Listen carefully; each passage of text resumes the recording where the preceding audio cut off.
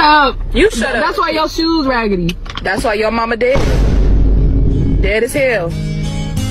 What shoes she got on? What shoes she had on her casket? That's why your granny ain't got no knees.